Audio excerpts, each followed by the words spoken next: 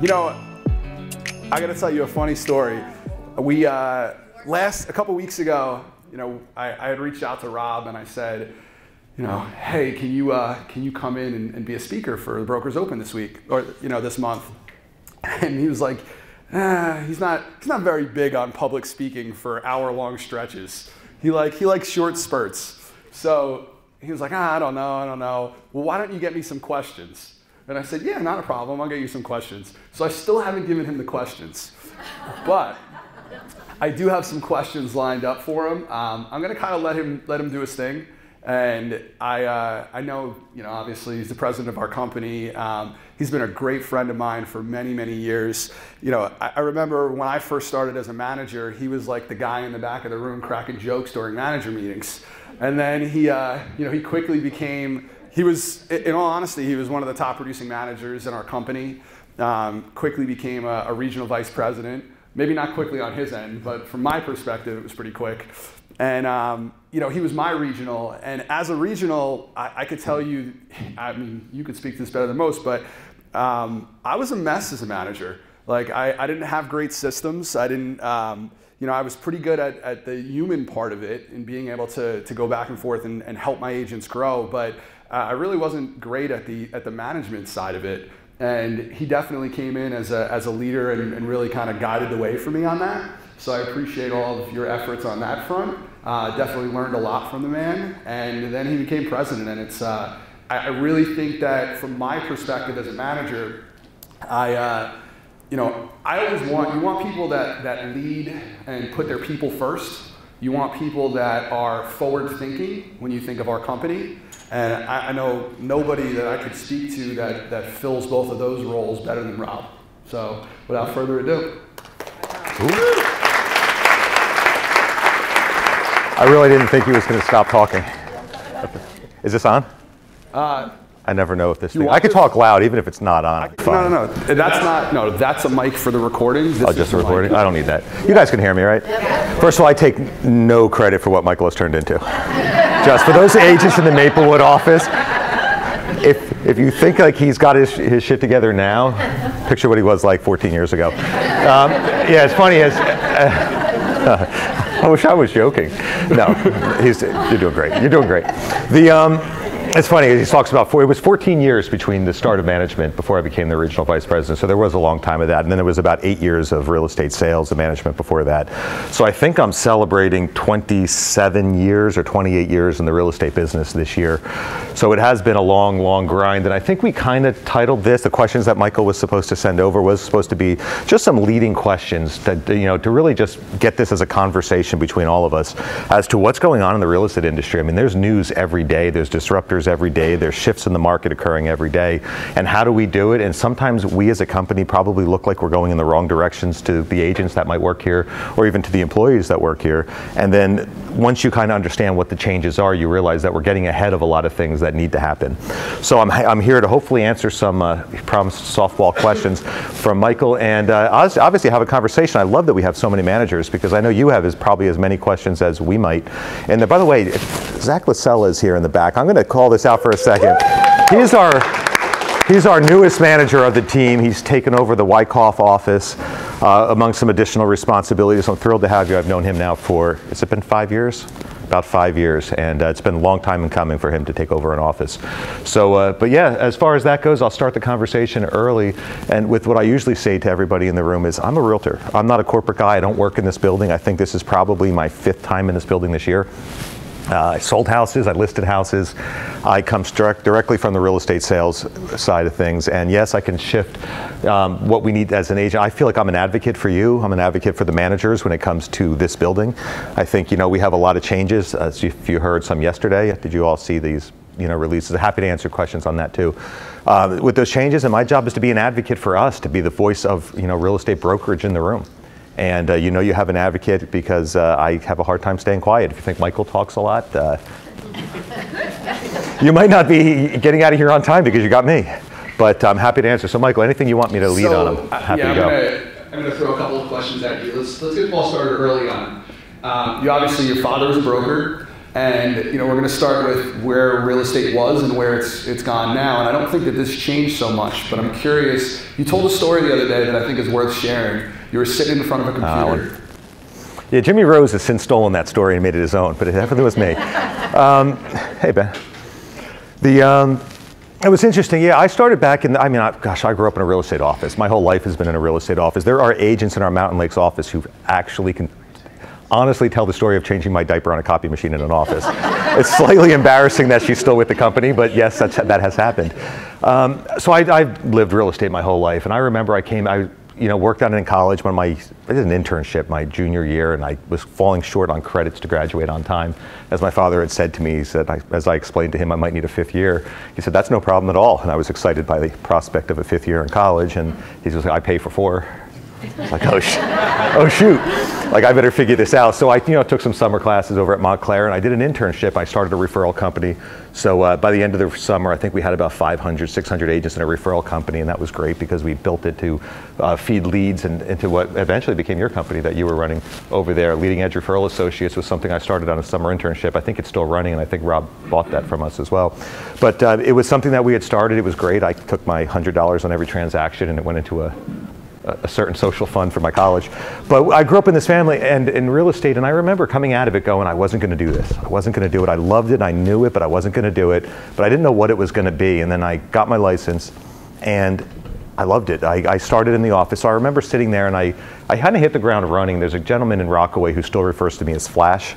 Um, he's, you know, because I had, I think I made Circle of Excellence in my first six months, and I had become number one in my market in a year or so.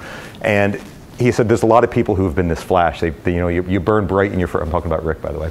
Uh, you burn bright in your first year, and then uh, you, you just fizzle out. You, you know, we'll never see you again. So whenever he sees me, he still refers to me as Flash. It's 27 years later, hopefully still burning. But I, I remember the situation, and I was sitting in an office, and this probably tells a lot about real estate. I remember I was working with a client, if anybody's local to Morris County, uh, there's an Anthony's Pizzeria in the middle of Rockaway, and Rob Carmagnola is a wonderful guy, and he was looking for a bi-level in White Meadow Lake. And we all know where, what they go for. It was the price point, you knew where it was. And I sat in front of a computer, and my father was in the building, and he walked by when he walked in in the morning, and I was at this computer, and he went upstairs. A couple minutes later, I can hear his ankles crack. I always knew where my father was because his ankles cracked, so he could never he could never sneak up on us. And I heard him walk by again, and goes down, and I'm still on the computer. And about an hour later, he comes by, and I'm still working on the computer, and he finally looks at me and he goes, "What are you doing?" And I said, I'm looking for a, you know, a house in White Meadow Lake for Rob Carmagnola. He wants a bi-level. And then he comes, he goes upstairs and goes, hmm. That's the way he would do it. Hmm. Great. I, I just heard it. It still, still shakes. The, um, so he comes down about 15 minutes later and he goes, What are you doing? I said, I still haven't found anything. He goes, It's not my question. He goes, What are you doing? And I go, I'm looking for the house for Rob. He goes, That's not my question. And I said, What? I said, What's your question? He goes, What are you doing? Waiting for somebody else to list it? And I sat there, and it was that moment of pause where he said that to me, and I just went, damn. Like, I felt that big because well, ultimately, what was I doing? I was waiting for somebody else to list it. I was doing the same thing that every other agent was doing, looking in the MLS for somebody else to list that property. And I think that was probably the turning point in my uh, real estate career was I didn't wake up in the morning looking in the MLS, waiting for the listings. Right now, we, we have a, a real estate shortage. We have inventory shortage. I think they say that statistically there's about 4 million homes short for what we should have it to be a balanced market right now. And we're all waking up in the morning, maybe not all of us, but most of us are waking up in the morning having a buyer who knows exactly what they want and where they want it, and we're disappointed that there's no houses on the market. Effectively, you're 22 year old Rob sitting in front of a computer waiting for somebody else to list that house. And I would say that would be something that I would say evolutionary change in real estate is don't do that. You know, this inventory is not going to come back on the market as easy, and if it is, there's going to be 18, 20 offers and lines out the door at the opens, which is great. But get out there and get those listings because that's uh, you you you uh, sitting around waiting. There's a lot of. By the way, you're not the only ones anymore. Big change in real estate. I'll probably steal some of your softballs and just tangent my way through them. But all right, cool. So, um, but one of the things you think about is back in the '90s, we had we were the we were the controllers of information. Who here has been licensed since like early '90s? Who remembers the MLS books? You know, $250 fines if they fell into the hands. Like, gosh, I go back to when it was like pieces of paper we had to put in binders, you know, and with one key that you like opened every lockbox. Um, we had the information, and it was actually said you were fined if you get if that information got to the hands of the public. And now we have the internet. So meanwhile, while you're in the office every day looking and waiting, 22 year old, just want you think of 22 year old Rob. He was a really great guy. Um, it feels like it was yesterday. But um, you're 22 year old Rob waiting for them. Guess what? The homeowners are doing the same thing. They're sitting in front of a computer every day waiting for that house to come on. And how fast is what's RET standard now? 15 minutes between sitting in the MLS and hitting Zillow? Like real estate transmission standards. That's 15 minutes. They're going to have that information before you do because they're going to be on that computer as fast as you. So if you think the value that you bring to the consumer is going to be, you know, your ability to locate that home for them, you're not. They're going to locate that home on their own. You know, you have to figure out why you need to be the person that they reach out to when they find that home. And that's something that has severely changed and significantly changed, you know, in the last 20, 30 years. All right, so you love to tell the monkey story. The monkey story. And I want you to tell the monkey story, and then I, I, want to I want you to tell me what you got rid of and why. You which which monkey are you? Oh, you're talking about the ladder. Okay, I got two monkey stories, by the way. I never. I've never realized that as I had this, they like tell me a monkey story. I'm like, I got four stories. I don't have a lot of stories. I know which one it is. I, I got one, but I do. I have multiple monkey stories. Um, mostly, and actually, one of my favorite monkey stories. I was in a bus accident when I was a little kid, and that was this is not even the topic of real estate. This will be the first time you hear this monkey story. The um, you would have two monkey stories. I have three. So I may have more. But I was in the bus. My bus was in an accident, and I was a, kind of a knucklehead growing up, as you might imagine. And I was in the back of the bus, and we got T-boned by a car uh, coming down a hill. And accident happens, and we all, you know, I opened the back door, and I got all the kids off the bus. I, you know, the police were there. We all the people, and my little sister. She, I was probably in seventh grade, and that makes her probably third grade, with bawling, crying. Uh, Chipper, you know, Chipper was missing. And Chipper is like, she, they were like, is Chipper a dog? She's like, no, is Chipper your little brother? No, she's crying, the cops are there. I'm like, Chipper's her monkey. Chipper's her stuffed monkey. She left it in the bus when she escaped the bus. So, by the way, that's my, that's my far, that's not the story? All right. To another one. My sister lost her baby monkey, so that's monkey story, monkey story three. Um, I'll give you all of them. Monkey story two is honestly something even that we can look at when it comes down to a lot of things. I teach this to managers a lot. And it was something we learned in Blueprint. I know I look at Jerry, went through Blueprint. Um, Dave Horowitz taught a lot about you know monkeys and saying everybody that you come across in your life has a monkey on their back that they want to give to you. You probably have that with consumers. You have it with managers. You can all look at it and be like the agents that'll come into the office and the uh, you know the agents you're going to have it with. Like your mortgage rep is going to try to dump stuff on you. Your title everybody has a monkey, and, and, to be effective in the business, you have to realize which monkeys you need to take and that's the stuff that you own and you you take from them and you let that you lighten their burden because they need that. And the other one is you need to help them solve their take their own monkey and solve their own problems. So that's monkey story too. I use that. You've heard me give that story too. But the one that he wants to talk about number three. Here's the story you want. So there was a study in the 1980s and this is really to my leadership style and I, my first challenge when i came into this role was um, there was a psychological study and they put basically three monkeys in a, in a cage and they put a ladder and they hung grapes from the, the, the, ceiling, or bananas or grapes, whatever fruit it was. And they basically, you know, the monkeys did what monkeys would do, and they immediately went to run up, and they got water jetted with like freezing cold water. And those monkeys, every time they went up this ladder, anybody hear the story yet from me? Oh, good. I got some people. Like, Rookie. Sharon's raising her hand. She's heard it like 18 times. Um, so they water jetted these monkeys, and eventually these monkeys learned that you don't eat those fruit that are hanging from the hook, and they would slide like some food through a you know a hole in the wall. A couple months later, they introduced a second series of monkeys, and those monkeys did what you expect monkeys to do. They would have run up the ladder, and the first series of monkeys like grabbed those monkeys and were like, "No, get back down here." Like you don't eat that, you eat the food that comes through the hole, and they teach that. They then took the first generation of monkey out for good, and they introduced a third set of monkeys.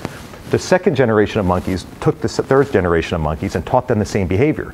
So they took the second generation out. The third generation of monkeys sat in this room fruit hanging that they would love to eat, hanging from a hook, but they didn't eat it. They waited for the food to come through the door.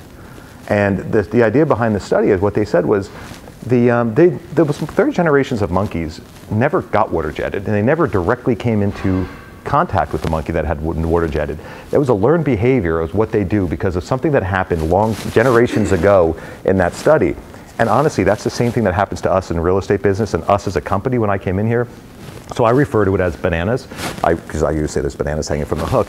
And when I sat down with Dan and Tracy and all the staff, I said, we need to identify what are bananas and what are real things. Like, why are, is there certain things that we do because, like, Maureen Passerini, 25 years ago, got hit with a cold water jet, and like we're still doing it.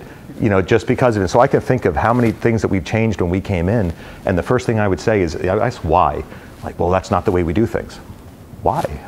Like, was it because there's a real reason behind that, or is it because some monkey 20 years ago got hit with a water jet And we're still doing it because nobody's had the uh, nerve to ask the question why.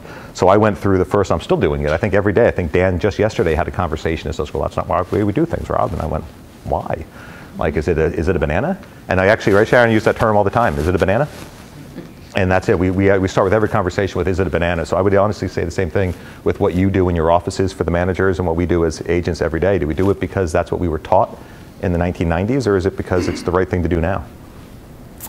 So I love the approach because you know you have changed a lot, and I remember one of the first things that you did when you came in um, is you said we're never bringing an agent backwards on split, and that was one of the that was a banana. And for years as a manager, it was kind of like awkward. You'd have, you know, an agent that would have a down year, and then it was like, just based on our model, we got to bring that person back split wise. And Rob came in, and the first thing he said, and that's that's something that you know you could look at and say, does it cost the company money? Maybe, yeah. but a lot. a lot of money, but not maybe, very, definitely cost the company money. No. But but the reality is, is like it's the right thing to do. I say that? It doesn't cost us money, it saves us. And, I, and I'd love to say, take credit for that. If it's Tracy here, she'll be here at some point. And I would say it, it, was a combination of myself and Tracy, really, and, and I throw Dan in there as well. The second Hal retired, we had an opportunity to start making changes that we knew we needed to make as a company. And uh, Hal, Hal, for all of his, he was great at what he did, and he was, and I would never say ill will about the gentleman, he was great.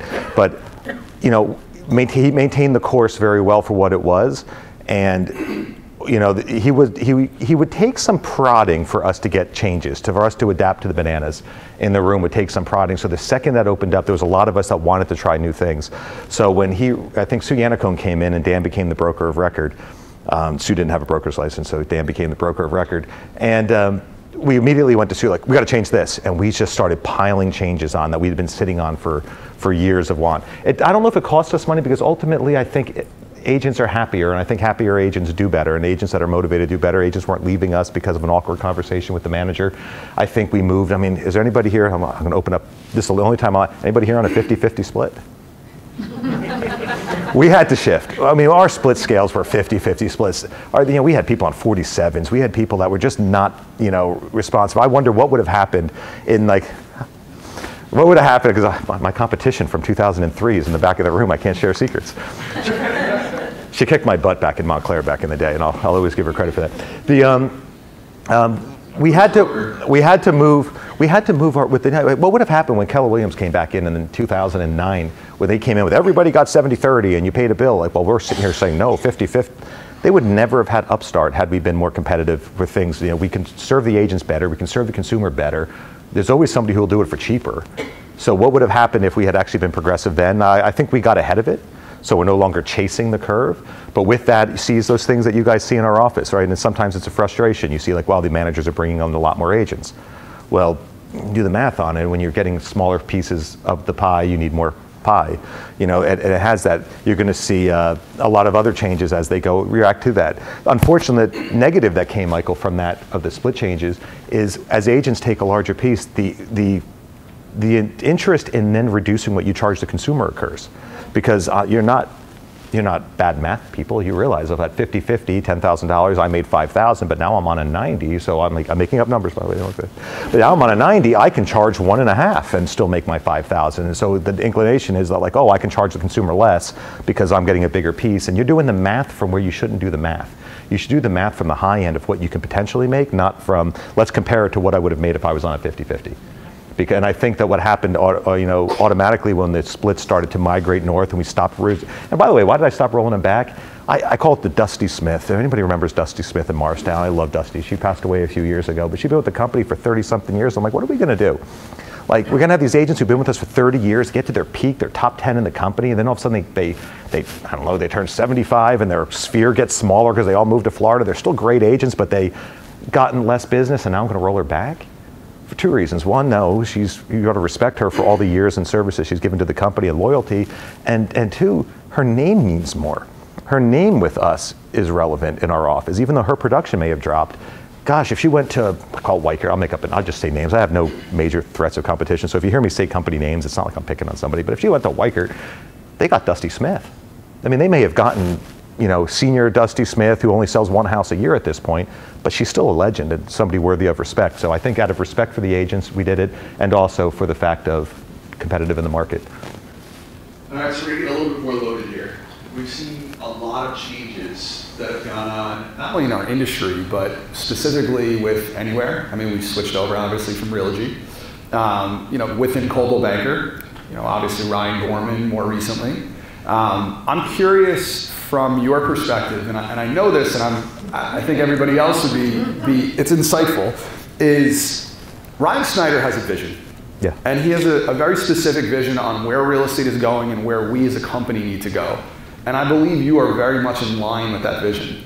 So speak to it. Hold on. Yes, I'm in line. Uh, by the way, I, I was gonna. Michael had me. I know. You, you heard that, right? Now, now I'll make a lot of noise while I say the second half. you want to take a microphone? No, I will say this. In fact, Michael wanted me to go third today, and I said no. I want to go first, just in case. Um, so, um, should change it fast. No, um, I, I'm in line. Actually, he came in, and I forgot where it was that we first met him. And I'm looking at my manager group. It may have been this room when he first came in and he had that meeting with us, and he said, like, you guys have the hardest job in the world. I don't know how you're doing it because we were number one real estate company in the world, and we, and we weren't necessarily selling the best product.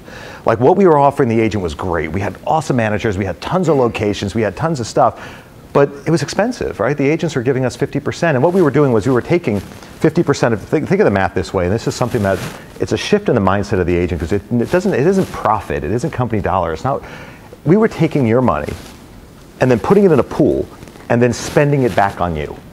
And it was like, well, we had planned ads. You remember those, like New York Times? Well, we had three ads this. You know, yeah, you remember those. I'm glad they're gone. The, um, but we had planned this, and then we had all these different things that we gave back. You got postcards with everything, but we gave you back things that either you saw value in or you didn't see value in. But the idea was we pulled all the money. Now we don't pull as much money. We talked about that. Some agent splits have migrated north and we retain less. And so what we've had to do then is figure out with the smaller amount that we've retained back and pulled together, how do we use that to still make sure that the consumer gets the best product out there, right? We don't, I'll never go the route of a company that just basically says, hey, we'll take X amount of dollars a month and do whatever the hell you want for the consumer. Because I think at the end of the day, the consumer is going to make the decision at the table who they use, and it should be somebody who can actually serve them. So us arming you with the ability to provide a value to the consumer should win it every time as long as you guys are able to convey that, which is why we push listing concierge so much. I promise you I do not make a dollar on listing concierge. Every time you use listing concierge, I spend money, physically write a check. Um, depending on what level, it's like 800 or $1,000 if you use platinum, and it's down to a couple hundred bucks if you use silver or bronze or whatever the other categories out. It's like 50 bucks for me. Take my money. The reason we're doing that is we know you'll beat that consumer who's at the listing table with the consumer who's basically saying like, I don't know what I'm going to do. I'm going to just charge 2% and it's better than what Coldwell Banker's off charging you. So like, you know, it's to beat that. But so he does have this vision. He sat in here and he said, um, you know, we have all of this, but it, we were selling something that was harder. So his vision is um, giving to the consumer, getting closer to the transaction, brokers reward the agents more, and then tie in those bundled services that the consumer wants. We know the consumer wants ease of use. They want that advisor to walk them through the mortgage, the title, the handling of the transaction, and I can tell a story in a second about that if you want. And he sees this vision of tightening it up. He doesn't see a vision of us having a thousand offices, as you see around the country. You'll see a condensing of the number of offices because he believes in condensing talent. You know, and I say this nicely with all my awesome managers in the room. There's 46 awesome managers here in New Jersey. If you told me I needed to hire 80 and grow to 80 offices, I don't know where the hell I would find 40 more awesome managers.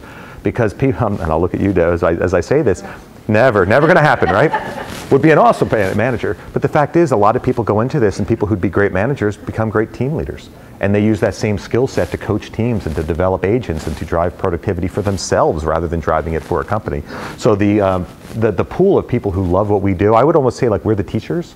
The managers are the people who choose to teach. You know your students are going to go on to Harvard and you know great schools and do great things in life while you're just going to teach the next generation of people. That's sort of what managers do. They, they're the teachers in the world. They, they want to groom amazing agents and then have them go. So he does. He believes in consolidation. He doesn't think that we're going to win the battle because we have the largest army. He's going to think we have it because we have the best. We're going to have the best because one, we, we compensate fairly. He's not going to say overly because otherwise we retain less, which means we have less to offset and to offer back to you in forms of you know consolidating for the consumer. So he does have a very clear vision about that. So a little bit more loaded, it's just a follow up to what you just said. um, we talk about consolidation. Like, I think that that's, from an agent perspective, that's something that agents tend to fear. What does that look like from your perspective? Uh, by the way, I'll introduce myself. I'm the president of Philadelphia. I, I, mean, I don't know if anybody knows, I'm now the president of Philadelphia and, and, and New York. Um, like that, that's consolidation. That's what it looks like. You know, there was a president of Philadelphia and Central Pennsylvania, and now it's me. Like it does. Did, did Philadelphia lose their president, or can it be looked at as they gained me? Like you know, you don't know. I think David was a, a great leader, but that's what consolidation can feel like. Um, we have amazing managers as we consolidate in. I look at it as you're consolidating talent. I went out to Philadelphia to meet the agents for the first time in the offices that I'm now see, overseeing. And I came back raving, and I think the managers and my regionals heard me say this. They were like, they had four awesome managers. And they were awesome. And they were delivering manager meetings and to their office, to their, their uh, agents. And I was like, wow, I don't know how many of my managers could deliver this meeting. It was like life changing. And I found out later she was like a trainer educator, like that's what she does for a living. but I'm like, she was doing atomic habits, book reviews, getting people up. Jen, I'm like, you guys are like things. And I'm like, you guys are awesome. And then I, I called up and I was talking to Dan on my ride home and I was like, wow. And I said, you know, how does that, you know, I, I go, but of course she's got good managers because she only needed to find four. Like, you know, we have to find 46. Like, it, you know, talent gets consolidated. I look at mortgage and title and I see you guys hiding over here, or mortgage at least, over here. We had these meetings and we're like, okay, well, we have, we have mortgage reps in this company. And like, if we have 30 mortgage reps overseeing 40, we have to have 40 good ones.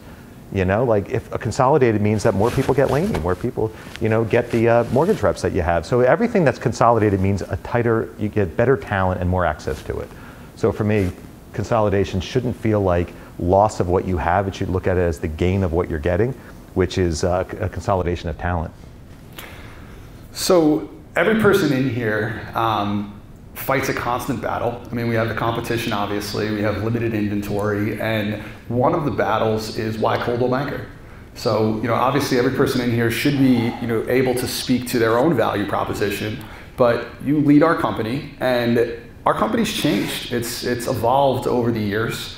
Um, it's not necessarily what it once was. In, in many ways, it's better. So I'm curious from your perspective, why are you proud to be with Coldwell Banker, and why do you feel we should win at the listing table? I'm going to break that in, in half. Uh, it's interesting because just like you guys all probably get calls from a lot of companies, managers get calls from a lot of companies, I get calls from lots of companies and people out there. Um, I always think about at the end of the day, when I introduce myself to somebody from the public or somebody in my family and I tell them what I do, the day, you know, and, I, am proud to say where I work. I'm proud of the company where I work. I feel it's professional. I feel like the reputation is solid. I feel like you're not, you're not, it's not sales. It's not, it's, it's advisor. It's something great about being a part of a company that has like integrity and morals when it comes to this. Uh, there's some companies out there that I wouldn't put my name on. I think I, at one point when I was a manager, I told the vice president, like, you can call me in my last five years. I was like, when I'm getting ready to retire, fine, I'll come over there. You can give me tons of money before I retire and I'll sell my soul for the money. Like, I just couldn't do it. I just can't put my name on something like that. So as far as me personally with this, it's just if you know that every single conversation that goes on in the back room over there is about the agents and about the consumer. It might not always feel it because we're looking at it through our own lenses and our personal lenses, but it, it, it's about the agents and it's about the consumer. I would even say it's probably about the agents first, and my push is always it should be about the consumer because by serving the consumer, we're serving the agents right? Like, your job should be easier if we do better for the consumer. If we're the best place for the consumer to transact a transaction, and like our agents will win every transaction. Now, as far as the, what would I say uh, as a, from an agent point of view for affiliate? Every manager kind of has their own um, value, but what I say as far as an agent goes is it's the number four. And if, if remember a long time ago, we had a listing presentation. I'm trying to figure out who was here back when we had the book, and it was like one, two, three, four. And it was like a listing book you would get, and it was like number one was what all realtors in the world offer. And the number, Jerry, I just saw you just had the recollection now, he knows it. Number two was like what we as a company offered. Number three step was like what your office offered, different. And number four was what you as an individual agent offer. And I think if I would say anything right now that has shifted more than anything before, in the past it was okay to go with what the number three was. Like one and two was pretty standard, but number three, your office was pretty good. And if you think by Morristown people, we had these things that we did, or Montclair people, we did things that at office level, but so did everybody else in your office. The number four is probably the most important. It's what differentiates you from the person sitting next to you you're all part of the same office, you're all part of the same company, you're all part of the same real estate industry. What is it that you differentiate yourself with? And I think if you look at the tools and resources, and I know I'm putting a big commercial out there for RealVitalize, but I'll say the same thing for how you utilize your relationship with the mortgage company or how you utilize your relationship with the title company, um, how you utilize um, some of the other products. It's how do you adapt what we offer as a company to being a personal offer for yourself and uh, to what can best be the consumer? So I would focus the majority of your time saying, what's my four? Like, what's my number four? And if you can figure out, and honestly, you don't know what your number four is, reach out to your manager. They'll tell you what your four is. We all know what each other's strengths are. Talk to fellow agents in your office, sit in a room together, and help each other figure out what your number four is. And I think if you figure out what your four is, and then you can look at what three is and say, how do I utilize the tools and resources so that you don't have to pay and reinvent, you know, the way to deliver what your four is, I think you can probably really advance that and go through the industry and everything else. So I would say, honestly, uh, how to win, use the things that we offer, the tools, the resources, the desk. Go to even if you go to some of these things just to learn what we offer. Because I hate the fact that like I, God, I, we sat in that meeting a couple weeks ago and I learn every day more things we have that RealVitalize even can do. And I'm like, they can do what? They do moving and they do storage. I didn't know they did storage. So I'm over here going, you could walk into a house and say your cluttered house for hundred years. I'm going to list your house. I'm going to have a service come in and declutter it, store it, clean it, paint it, repair your stuff, sign your floors up before you hit the market while it's all exclusively listed during that time, and, and get it all done, and you don't have to pay till the closing table. Like, that's a nice way to position a number four with using number three, you know, to pay the bills for you, and something you couldn't do on your own. But a lot of people don't present it in that manner. Yes. I would love to be able to go in and present and RealVitalize like that, but I was told that it's kind of steering or? You can. They're going to talk more about it in a second. But yes, by the way, everybody interrupt me. I do better when I like questions come up because it puts me back online. Uh, you can. That was a banana. So a perfect example to tie these stories together. We, I came in here and they was called an inducement. Well, we couldn't present it. You couldn't wait till after you listed the house until, remember that? Yes. If you all learned? That was such a banana. I walked in and I went right to the attorneys and I'm like, why are we doing this? Well, because that's the way we do it. I'm like, no, that's the way the previous administration wanted to do it because they were less risk adverse. Probably because he was the broker. I have Dan's broker's license there, it's not mine. so I'm a little bit more loose. So I'm like, so Dan and I have a great agreement. Dan's agreement with me is we were going to change it. By the way, I am a broker. Uh, they were going to move the broker's license back, and Roseanne, who may or may not be in the room, was at the dinner table when they were announcing me as president. It was we were at Sue's house. It was just the regionals, and um, they were like, Roseanne goes, "Oh no, I got to do the paperwork to move the broker's license over to Rob." And Dan goes, "Well, do we have to do it so fast?" And then I called him later, and I was like, tell me why it matters. Like, what is it? And he kind of shared with me some insight. Dan loves that. He has a passion for being that role. And so I, I don't. I love the forward thinking. I love that. I don't care. I don't want to get involved in the arbitrations at the board level and the angry consumer. So my conversation with Dan was, oh, absolutely, you're the broker of record. Two things. One, because the Real Estate Commission guidelines state the broker of record is the end all be all decision maker in all things real estate. Right? Accountability falls on the broker, not the president. So I said, as long as you always agree with me, we're cool. number two, number two was I never want to hear from an angry homeowner. So I never want to hear from an angry. If you, you can't, the man, if the agent can't solve it, and the manager can't solve it, and it gets to the regional, and the regional can't solve it, and they call me, I'm going to be like, that sounds like a brokerage issue. You need to talk to the broker. So that was the. Uh, but that was it. But it was the banana, and he was very. Uh, and Dan and I both are risk are not risk adverse. Like we're we're willing to take the like. You don't know where the line in the sand is until you cross it. It's like don't do that. Like as a kid, like trust me, my son's already figured this out. He's five. It's like he goes here. I'm like, all right, I'm not gonna not gonna yell just yet. All right, so the line really wasn't there, and you keep moving. You don't know where the line is until you face the repercussions for having crossed the line. We haven't found it yet. So I pushed it now to saying that you know we can present it at the time of listing. So you can present this, present away. I had, I had spoken to the attorneys and the people to reduce the risk, saying by the time you're on that listing appointment, you have a business relationship already with that agent, that consumer. They've called you in. You're presenting listing. You're presenting like I'm going to do these five steps of advertising. How's that not an inducement? I'm going to do an open house every weekend. How's that not an inducement? You're telling them what their home is worth. How is that not a business relationship when you're giving advice on what the home is worth? So the idea being that we're not already in a business relationship at that point, but somehow like I don't know who drew the line and who got hit with a water jet, uh, you know, and said we can't do it. We can. So present away what we can't do. And by the way, I'm willing to allow you, with Dan's broker's license, to, for the record, to push the line until we find the line. And the idea behind the line is you can people say, can I do a video talking about all the great things that RealVitalize offers? Yes, you can. Can you put at the end of the video to find out how we can do this for you or to list your house with me? Call no. That's when it becomes an inducement. If you do this, I'll do that. That becomes the inducement. But can you do a video? Like I'm going to film one. I'm about to put my uh, wife owns a place in North Brunswick, about to put it on the market. And um, I said already, like I'm going to go in day one. It's been rented for 13 years. It, it is a mess, as you could imagine. Um, I'm going to go in day one. I'm going to film the whole thing, and I'm going to let her film it from the day we walk in and see the condition of the place to the day that it hits the market and all the different things that Real Vitalize can do. I don't know if you even know that I'm doing this. And uh, okay, and I'm going to put that out there for the world to see because what I'm not going to put at the end of that video is to, you, to find out how we can do it for you. Call us to list your house. That, that's where it becomes the inducement. So just be careful on how you present your skills. So could we put uh, like a Real Vitalize tile on our own personal websites? Could we link to the realvitalize.com? Uh, I'm getting a nod yes over there. Just to be clear, Real Vitalize is, is definitely, Nicole's going to speak all about Real Vitalize. You're going to have a lot. we'll I, deep dive on that today. I'll defer on a lot of that. I would love for you all to be very creative with that. Because, and there's some reasons that I think, if, as, I'm waiting for Michael to probably prompt into a different line of questioning at some point. But uh, when we get to that, I'll, I'll share some ideas. Share, share with me what that line question Just is. say- I figured you were better prepared for this. I don't, Did you just say contact me to find out more? Yes. That's kind of vague, but Yes. That's, that's, um, uh, that's vague. the only thing I would say more about Real Vitalize is I think it- it's a, you know, somebody came up with a cute, clever name, but Compass Concierge is a much better uh, name. And I recently lost a listing to somebody who flat out said to me, you know, oh, well, Compass Concierge takes care of everything. I said, well, uh, we talked about this, and, I mean, shame on me, I guess I, I didn't, I definitely didn't do a good enough job explaining it. But for now on, I'm calling it Coldwell Banker Concierge. Cool. That- You can. I feel like I was going to say shame on you. Only because I like you and you know how much I I respect got you. this phone call the other day. We had this conversation. I know. I was going to say, I would have said shame on you only because she's so good at what she does and she's fantastic. So I feel like, I know her well enough to be able to say that. Like a lot of times, like we'll lose some battles. And again, it's like when you list, you go on a listing appointment with your best friend or a family member or something, and you end up they don't list with you because you just assumed you were going to get it and you presented things very surface level, and somebody else went in full on and gave them the full presentation. Like sometimes I think we think we're like even me. I stated the same thing now ten times in a row because I don't know which one is going to resonate. I would always say like what- you know what we think sometimes is is resonating. Maybe try to make sure you go full in and explain it. Uh, line of, uh, I forgot already, Michael. Just keep going. I'll get with where.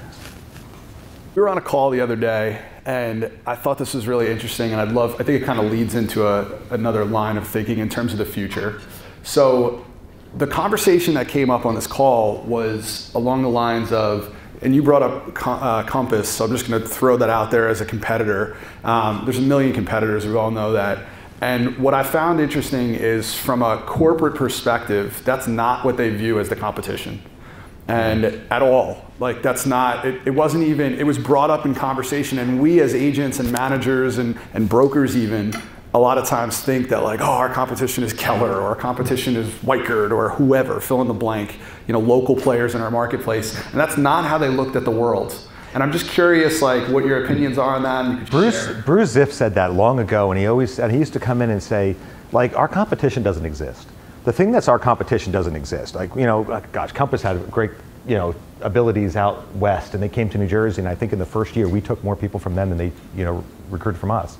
Uh, it didn't happen here because, as I said, we have the best agents and the smartest agents, and you're savvy. You don't fall for BS. Like, give me something solid, give me something tangible and real.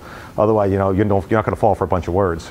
So, uh, you know, that New Jersey tough, you know, attitude, you know, proved to be exactly right.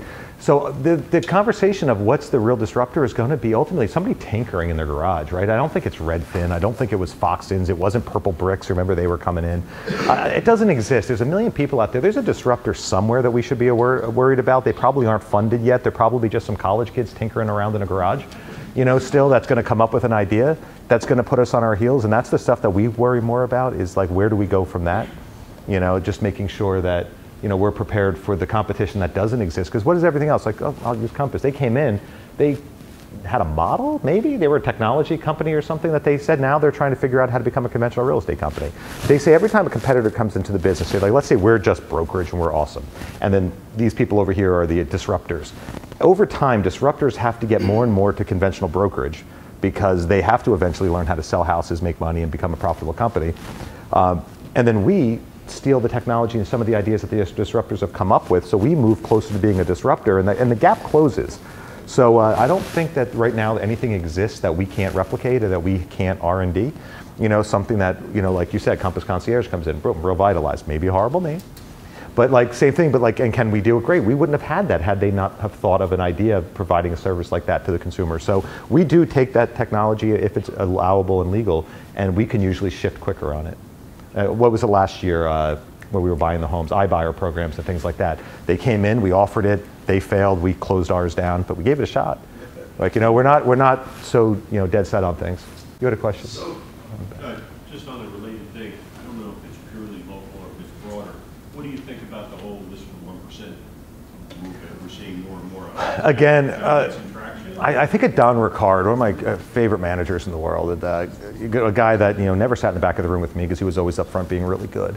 Um, but it, it, there was always the comment was always there's always somebody out there who'll do it for less, right? I, I guarantee you, if I go out in that parking lot out there, there's some fancy cars. You know, there's other cars that are cheaper. You know, I'm looking at shoes in the room. There's people who make cheaper shoes. You know, at some point the consumer is going to draw the uh, the uh, line of quality. And I think if we go in thinking that we have to lead with price and not value, you know, I think we do a disservice. And I think when you talk about those one percent, um, if the consumer believes we're all equal, you know, when all things being equal, the price will, you know, dictate. But so I think it's up to us to make sure that we don't leave the consumer thinking all things being equal. You kind of get what you pay for. There's a million different dialogues that you could use for that. Like, oh, I heard somebody go in there once. I forgot who I was with, and the conversation was just like, oh, I'm sorry, I didn't realize you brought me in because you thought I was going to be the cheapest. They're like, they're like, why'd you bring me in? Well, everybody tells me you're the best. Anybody tell you I was the cheapest? Like, you know, like why? No. Okay, well, I'm the best. Okay, so you have to tell me what are you looking for? Do you want the best or do you want the cheapest? And there was a conversation that I think falls on us. Uh, do I fear that we're going to get there? Yeah, that's why I started the conversation by saying that as we progress splits up, my fear was that the agents were going to automatically progress consumer fees lower because they're going to look at it from the bottom dollar as opposed to the potential top dollar. And I'd rather see that because as you charge them less, the percent the company sees is less, which means I can then offer less in return. And I love the fact that we're consolidating and making great business decisions because they're the best business decisions for the company. I would hate to see us have to make business decisions because we run out of resources to make and execute good decisions. Right? So that's why I, I still push like there, yeah, there's a fear, especially out in your market. You know, you're seeing it a lot. model, do you think, to succeed long-term? Hope, I'm here. By the way, guys, if I ever leave, follow. Like, uh, I always say, like, I'm here. I got five-year-old. I got an eight-year-old. Like, I got to pay for college in 10 years. I mean, go Bernie. Like, I don't know. At some point, I have to raise this money. The, um, I need, I need to be somewhere where it's going to be viable. I believe we're the most viable, best real estate company in the world. And if a better model is out there, I'll, I'll find it. I'll either develop it and build it here, or like, you know, follow me out the door because there's something better. So yeah, I do believe that that model will succeed. I don't think there's a disruptor. I think when you look at disruptors, companies like YHDs and Purplebricks and some of these flat fees, there's a reason they failed to launch.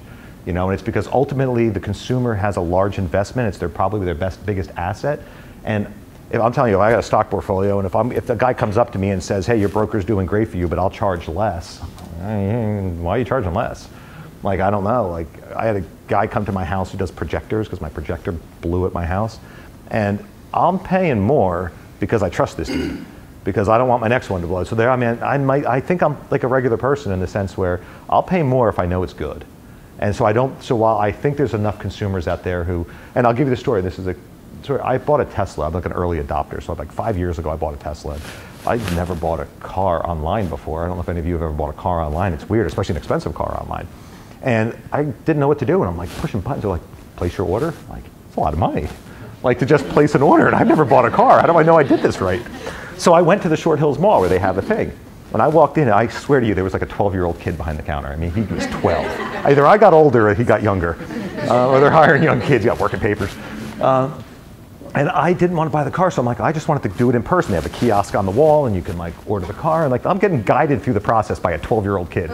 I'm like, this kid does not even know how to drive. His mom dropped him off. There's no doubt. But yet, I felt better about this purchase because I did it next to somebody who actually had done it before. And I think that's where you talk about trusted advisors, and I think that's where we talk about the value of the consumer. I don't think we have to justify our fee between 1% and 2% on the listing side, or 1% or 2.5% or 3% on the listing side. I think what we have to uh, justify to them is the comfort in knowing that you have an advisor who's done this before, who does this monthly, weekly, daily, lives that life and can guide you through it, has support of managers and regionals and a corporate in the background who has integrity. And I think that that matters that we're one of the world's most integral and highest integrity companies. I think it matters. And I think at the end of the day, when you've got a large asset like that, you know, it, it's going to matter. So I still don't think we're there yet. I don't think we're ready to, like, why are these buying processes? Like, you, why can't you just go on Zillow and make an offer on a house? Because at the end of the day, you still want you. The consumer still isn't going to pull the trigger like I wasn't going to pull the trigger on a car. I don't think the consumer is going to pull the trigger without one of you in the room. As long as we convey that still and we can still provide that value. So this actually leads me to a question, um, and I'm going to preface it with a quick story. Um, so obviously, you know, we recruit from all different companies, and one company that I've been recruiting from a lot lately is EXP. And what, and I'm not picking on EXP, it's not about that, but one thing that I've heard from a lot of EXP agents um, through the years is we're entrepreneurial. And, and Coldwell Banker, you guys are dinosaurs, so to speak. In, in different language, you know, I'm paraphrasing, but I've heard like along those lines. And so recently, one of the, the uh, most productive EXP agents in the state um, came over to us. And when she joined me, like, you know, that was part of the conversation is like understanding like, you know, how we push the limits of, of real estate and, and business. And she did eventually join and she came in and she did something that was pretty funny is she, she essentially tried to start her own referral company, like within our, you know, uh, with online and she was pushing stuff out to, to agents and immediately got her hand slapped. Uh, but here's the I loved it. Here's the interesting thing. So the reason why I tell this story is I actually I, I didn't know what she was doing. She pushed it out to me, and I hadn't read it in time. And, and the powers that be read it before I did, and and they shut it down because it was done through like an internal site. And what I found interesting is I got a phone call from Rob, and Rob was laughing about it.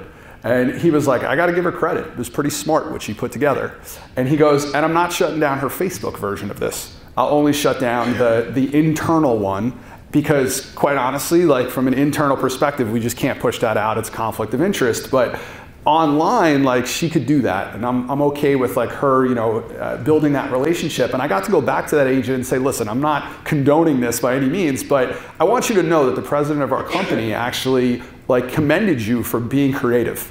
Like, and, and She, she actually executed it better than our internal company did. Like she literally put out a message that was really good. It was like, "Hey, I'm setting up a new leads uh, referral network for New Jersey. So anybody come to New Jersey, I'll make sure I put it in touch with the right person in the right location." I'm, I'm like, that was it was beautiful. Like we have this iLeads team, and they're out there, you know, with relocation going back and forth. I'm like, good luck finding the tab on the desktop somewhere. She had this whole thing branded out, looked good. I'm like, I would call her if I needed a thing.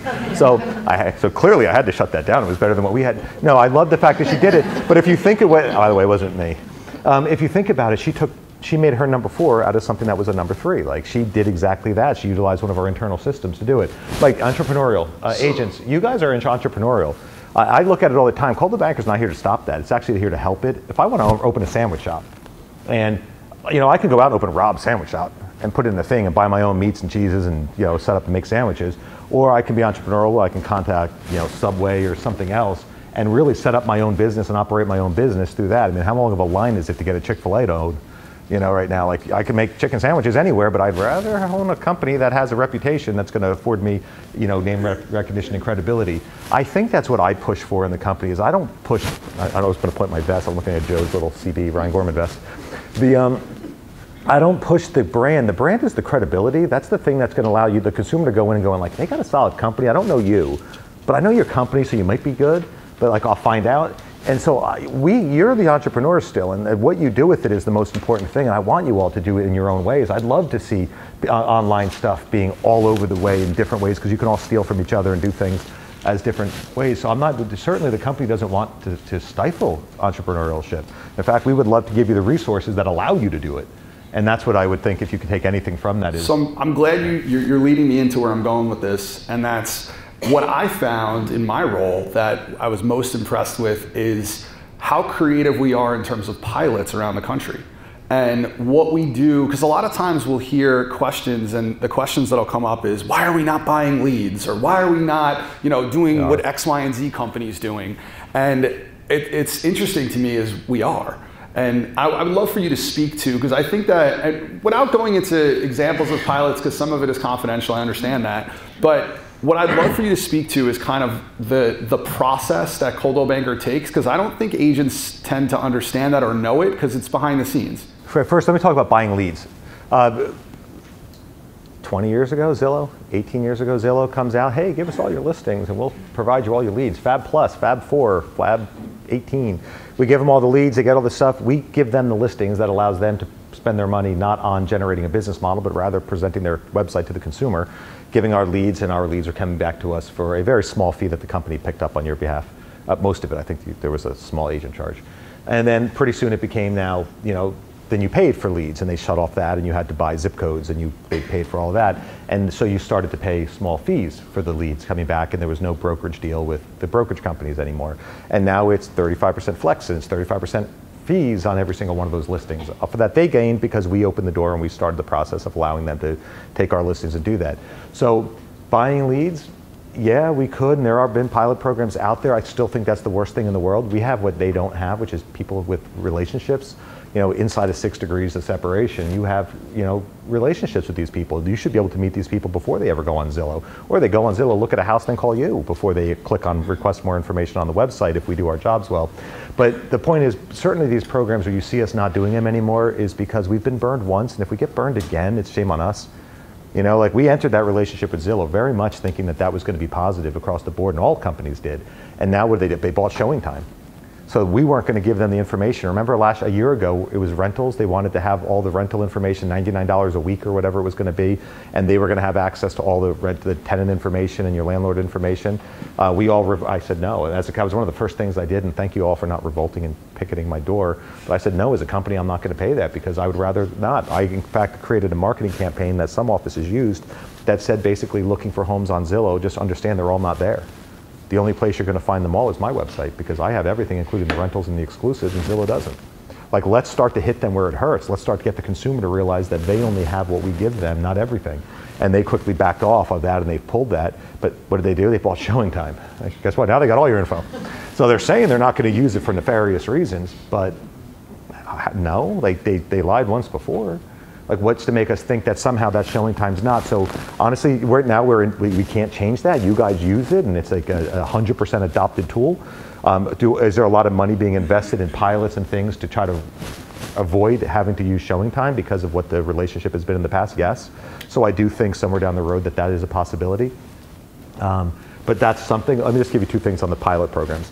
Uh, we, we're aggressive. Michael and I had piloted a program here um, in New Jersey, which was it was okay. Right now, there's a pilot program somewhere going off. It was we had so many handcuffs and restrictions on us. It was actually hard to make it succeed. But they were willing to. Like we got learnings from it. We learned some things about agent behavior and some you know people's behaviors, which I think has come in handy for the other things. So we have this thing. It's like it's not success and failure. It's success and learning. Right? You don't fail. You learn. And you learn what worked and what didn't work, and you try to move from there. There's pilot. You guys should all be thrilled. There's pilot programs that have floor plans on listing concierge around the country. So they are being tested. They're in different markets, not here, because we have we have 20,000 listings. Like for us to beta test something that's listing driven here has a higher possibility of failing than beta testing it in St. Louis, where they might have 300 listings. You know, it's easier for them to understand what works and what doesn't work and work the kinks out there. So we do. We beta test a lot of programs like that. Uh, Pennsylvania had a thing they called it Project Bananas, so another bananas reference, and uh, it was geared towards uh, driving mortgage and title. And it was rather like, can you over reward, reward and overcompensate agents on the transactions, and drive the revenue strictly from mortgage and title? Thinking like, listen, if I gave you everything and even more, all you had to do was use, you know, the mortgage and title team over here. You know, you would think that would be awesome, right? Like you guys are agents, like that's a sweet deal. Like I, I, you get extra percentage. Yeah, it didn't work. It's not working. Thank God it's not in the part. But you would think like it, should be like, hey, I got a great team, and uh, it didn't drive. So there's a lot of uh, aggressive plans out there to try to see where we find balance as a company. All right, so I think we're going to pivot to Q and A from the, from the audience. Um, I don't know who has questions, but I'd love for you to shout them out. Go ahead. Um, I've been doing this a long time and I'm very anti-Zillow. I was Zillow before Zillow became Zillow, so I'm pretty pissed off about it.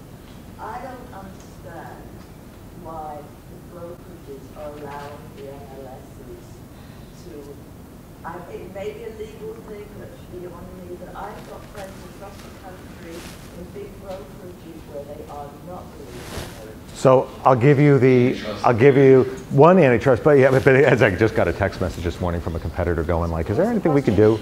Oh yeah, I'll repeat the question. The question was like, you know, why are the brokerages playing with Zillow? Basically, why are we allowing them to have our listings? We actually did it.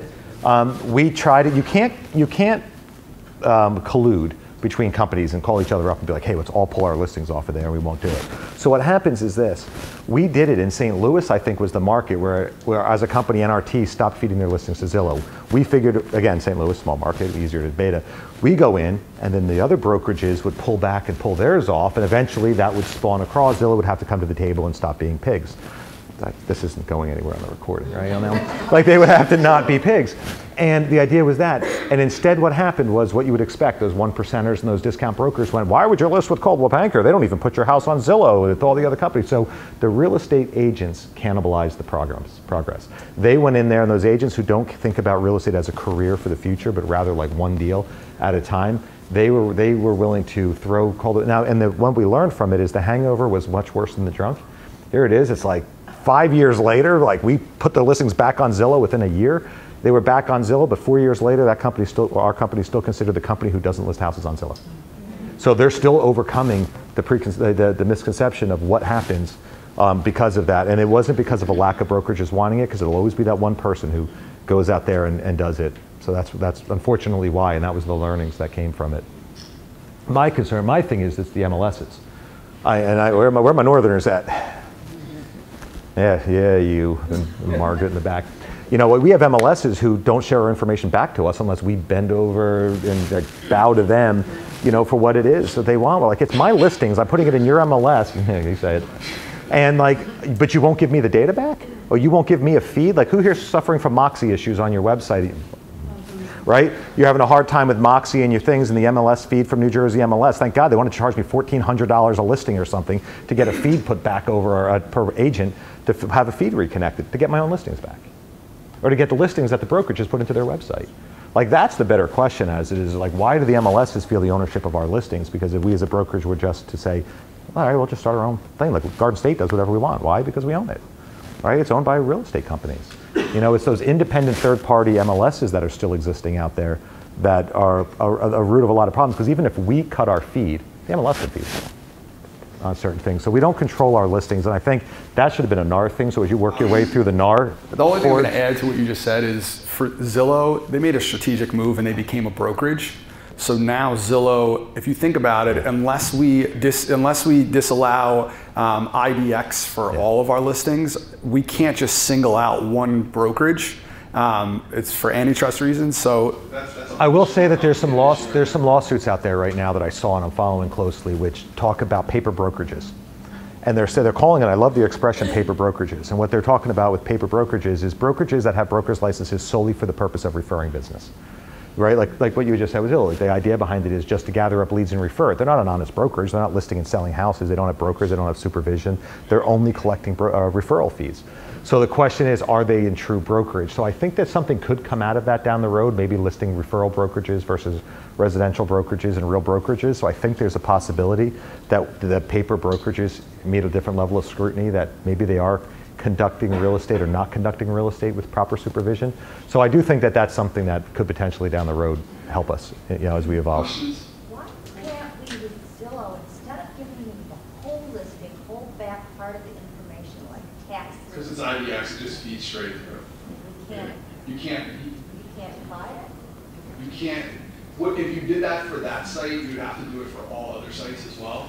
Like, it's just a feed system and you can't pick and choose what gets fed to what companies. It's just like the, an IDX feed works for here's all the data, all the data it passes through. Did you have a question? Yeah, so you're talking paper, oh, I don't need that uh, either. Uh. Nobody needs a mic, I'll send it right to you. Uh, paper brokerages like uh, Zillow, are you talking about the ones that are like that pay me five hundred dollars and I will?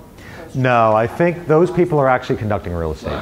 You know, they're the flash. She's asking like this paper. Would you consider paper brokerages? First of all, not my term, and I don't want to like claim that I'm calling Zillow a paper brokerage. Um, that's for you.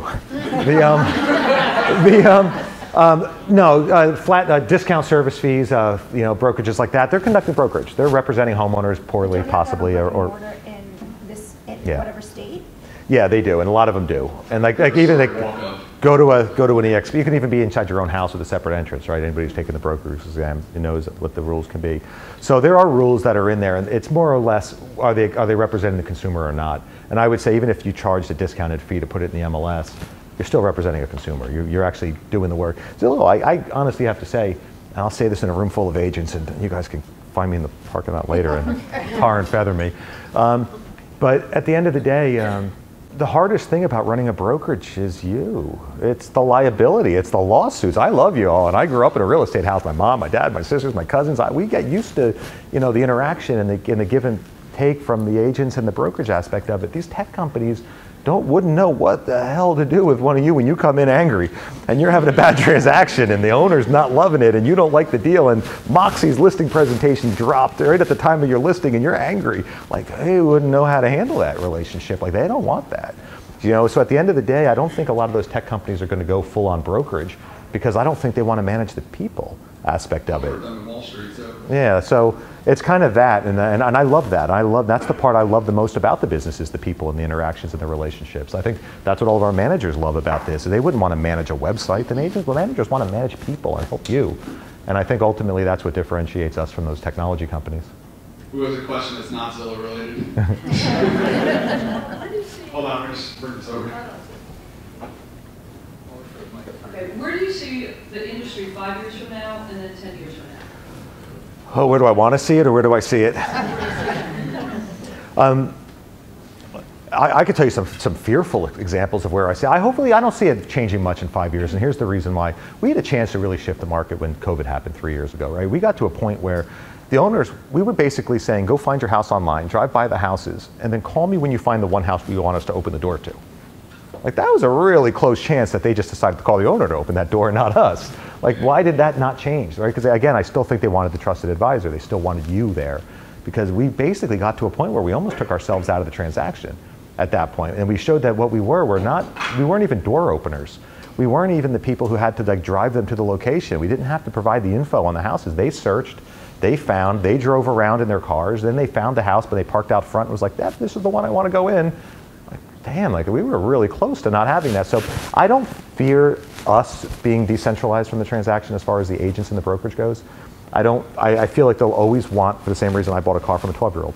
I think they're ultimately going to want somebody with knowledge, and I think that as agents, that knowledge you have, uh, you have a team and a growing team, and I do think that we, as a brokerage, now here's where my manager group and me my differ, uh, differ in relationships from some team leaders in the sense of I love teams we've outsourced a lot of our coaching and training of individual agents to teams. The teams have, you know, you really work your team, I bet. And I know a lot of the other team members do. They have mandatory meetings and you're there and you're prospecting and you're doing these things. And we had to uh, by, obey ICR regulations, which basically says you're independent contractors, not employees, and I can't force you to do anything. So we've sort of outsourced our you know, prospecting and our lead generations to team leaders who now you see a rise of teams. And I think ultimately teams will still be related to brokerages for the big, the bigger reasons. The more business you do, the more liability you face, and the more you know legal aspects and more targets that are on the team. So I think you'll see a rise of team. My managers know that I've made a big challenge for them earlier this year, and that is to get back into the business of productivity coaching like really get your agents back in there and do some of the things that I see the team leaders doing very effectively, which is coaching new business. I love supporting teams and I love the fact that like we have that ability to support, but there's also a part of me as an 18 year old kid out there listing and selling houses or something that thinks everybody should have the opportunity to be the next you. You know, and they should have that chance to be a, their own team leader or their own person, like give it a shot.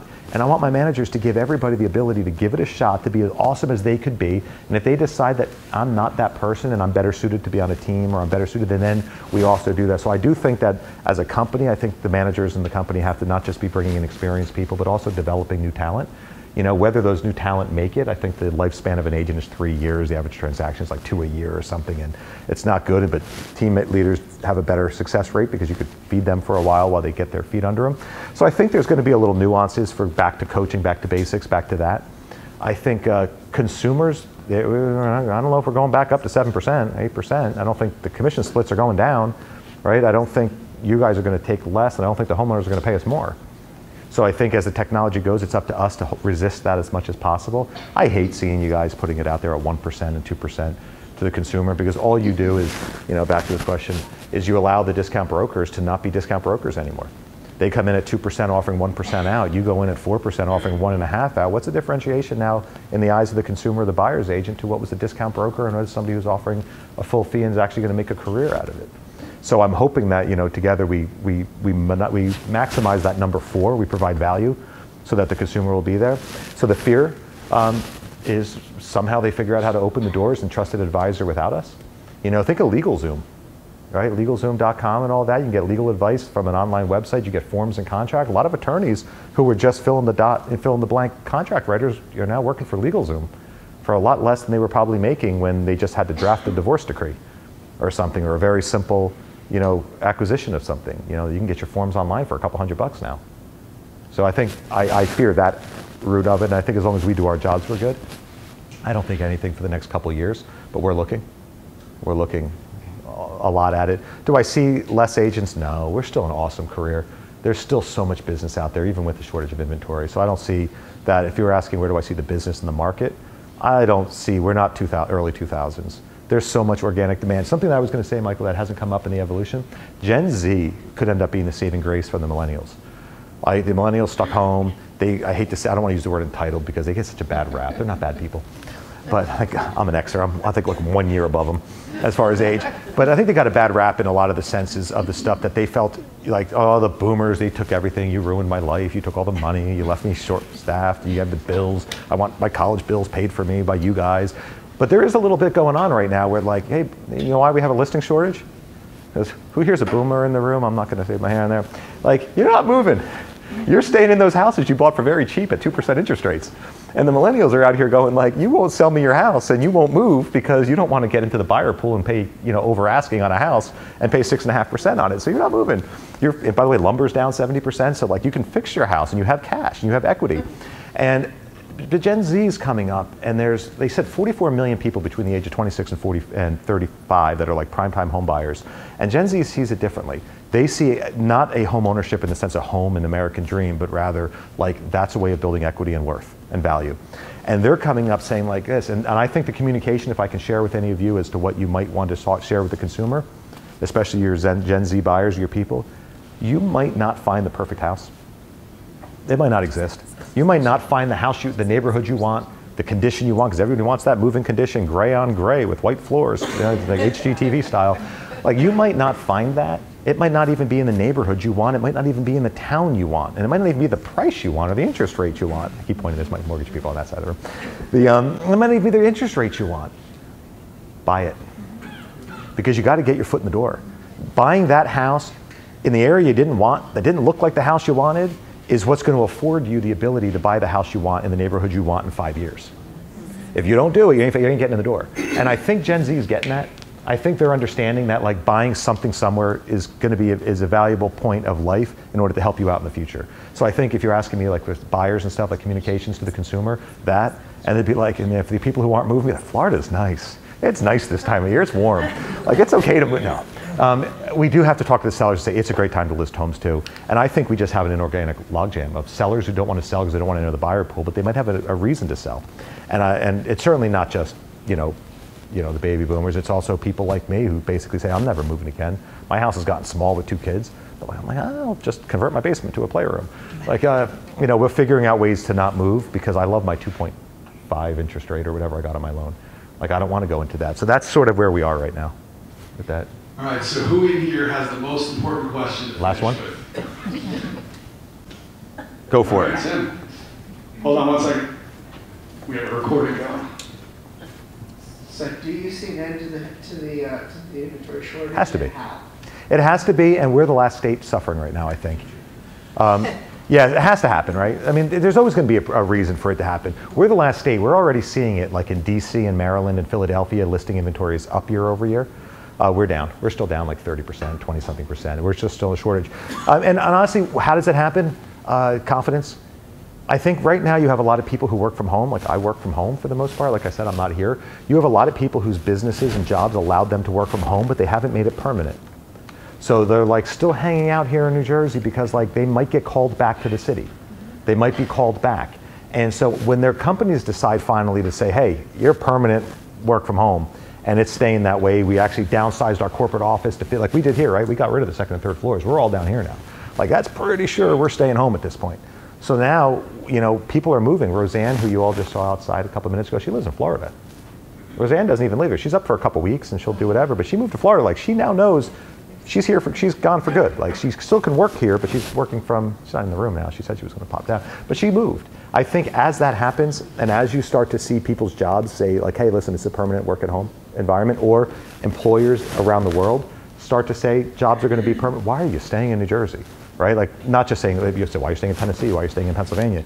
You're going to go like if you love mountains, you're going to go to Utah. You're going to go to Colorado because that's where your your passion is. But your job can still be the job you want, where you want.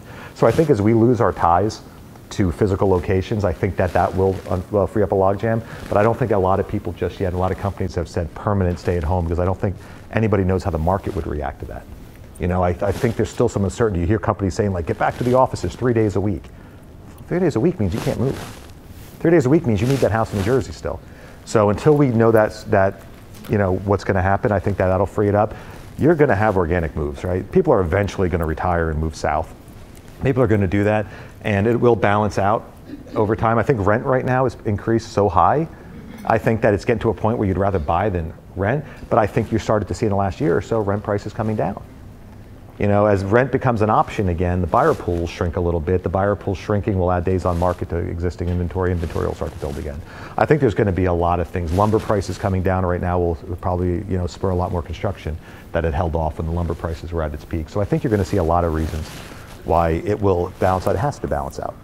Right? It just it, it, it always does. You know, not because I say so, but because it will balance. God, I can't imagine this shortage for this long. Rob, So, you good? you should do more public speaking. Yeah, I don't care. Um, Thank you, guys.